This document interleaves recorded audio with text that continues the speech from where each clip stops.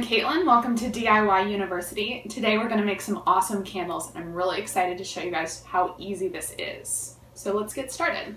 Okay, so here's the base of the candles. These are all the jars I'm going to use. For those of you who have watched my other YouTube videos, you know that I love to cut bottles.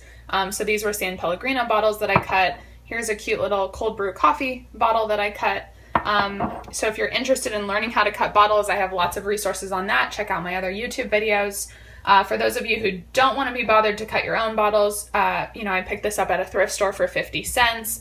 It's really cute, it's going to make a, a, nice candle. Um, you can also use uh, assorted ceramics or even glass jars. You know, I keep my like mustard jars and things like that, and um, you could spray paint this lid with a nice color, and these make really lovely gifts too.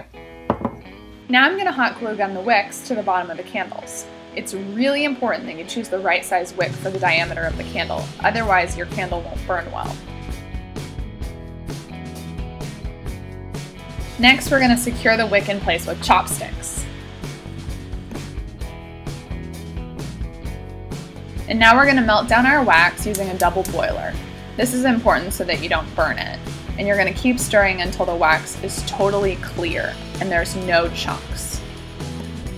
The type of wax I'm using is from Candle Science. It's a soy-based wax. Uh, I've had great success with this wax, highly recommend it. It burns cleanly uh, and holds fragrance well too. Now that the wax is totally clear, we're ready to add the scent. Now comes the most fun part, pouring the wax.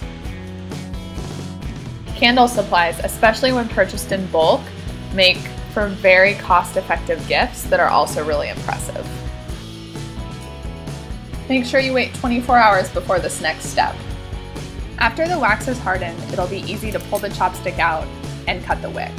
You want to cut it a quarter of an inch above the candle wax. Thanks guys so much for watching my candle video, really appreciate it. I uh, hope you guys come back and check out more of my videos. Uh, there's a link below in the description of all the supplies I use, so if you guys want to replicate the project, it's super easy. Uh, and when you do, use hashtag DIY University. Okay, thanks. Bye, guys.